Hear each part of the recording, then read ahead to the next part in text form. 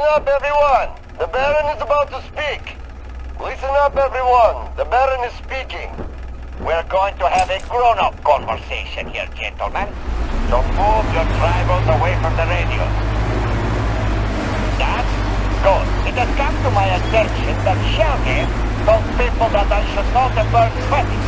And that Sweaty was an okay guy. And I overreacted over some stupid shit we invented for the tribals. Within the slave side. And took a leak into the Holy Flame. Well, I have just put Shelgame down.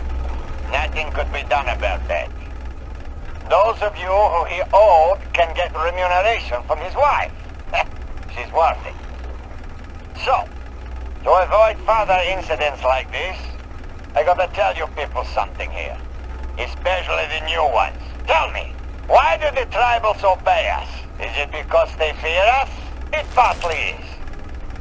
But fear before man is not absolute.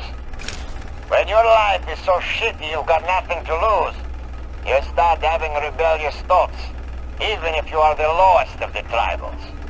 And can we have that, gentlemen? No. We cannot have that. That is exactly why tribals must have faith. Faith in the supreme forces, making the world what it is. Making a master a master. And a slave a slave. Not a man with a gun.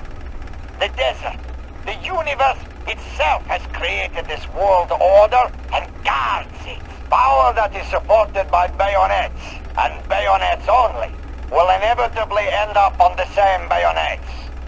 But the power supported by bayonets and faith is eternal. This is what you have to always keep in mind, gentlemen. Why I always say, if you see a slave that does not worship the Holy Flame, kill him.